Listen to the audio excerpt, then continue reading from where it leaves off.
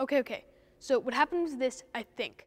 Everyone was all freaked out by the zombies, and I thought it'd be funny by playfully suggesting that I eat Carol's brains. I don't want to eat Carol's brains. Never Trying have, to convince going to. everyone he is But not see, a I thought it'd be zombie. Grayson, a North Oyster zombies, student, collaborated to create this Carol, stop monologue for drama, something he has a passion for.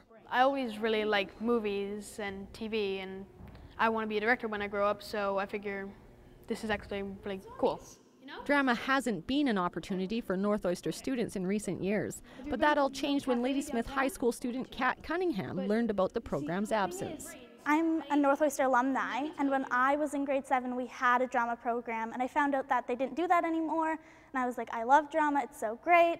Um, so I decided to kind of bring it back. and we're going to be doing some like character development, and then I'd like you to start doing. This is Kat's second year offering drama to the students. Vice Principal Jim Pasco says having this kind of help is extremely valuable. One of the things that's not always easy, especially a smaller school like this, um, where you don't have a lot of teaching staff, is to offer a wide range of programs and things. So it's great when the students that have come to this school in the past come back and, and give back and help out. You're kind of playing with the bottom of your shirt. You know, I look forward all the time to coming to North Oyster. It's like, okay, when's school done so I can go to North Oyster, let's go. It's been really fun, you know, like she's not so strict that we always have to be working on our lines. It's just nice because instead of working with the teachers who are always like work, work, work, not allowed to talk to anyone, she's a little bit more lenient with that. If you're having fun, then And then everyone's you want to come back to it more and more. And I think that if more teachers did that, then students would be more interested in learning.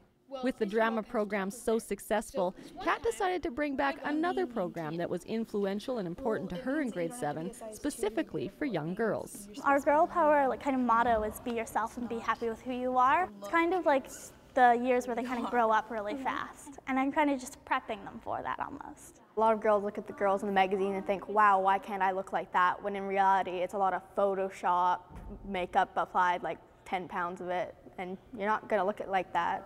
Discussing topics like beauty, image, and stereotypes, the Girl Power Group is creating a video as well as a musical theater piece that will look at serious topics like eating disorders. Eat zero calories.